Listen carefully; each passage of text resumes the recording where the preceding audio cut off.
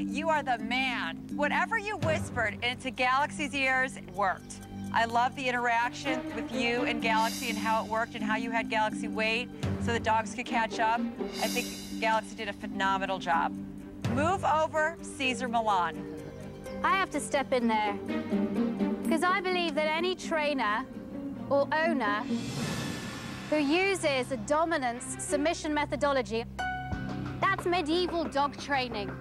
The best scientists and ethologists and behaviorists in this country agree that to train your dog in a positive manner gives it confidence and security. Yeah, but it's not your way or the highway. He has his Do way you of training, what? and that's no, your no, way no, of no. training. You I, cannot I tell him how to totally disagree. I totally disagree with You're you. not the end all be all. Totally. Everyone I has their totally own way of training. with you. What, you think you're the god Science, yes, I am, because I follow the very best in this country. I mean, I'm not just ridiculous. stuff. Do you know what? Do not say I'm ridiculous, and I'm going to get very angry with you. I didn't say you were. No, I say well, this you're is ridiculous. You are saying that I am ridiculous. Oh, get over yourself. I'm sorry, that is very insulting.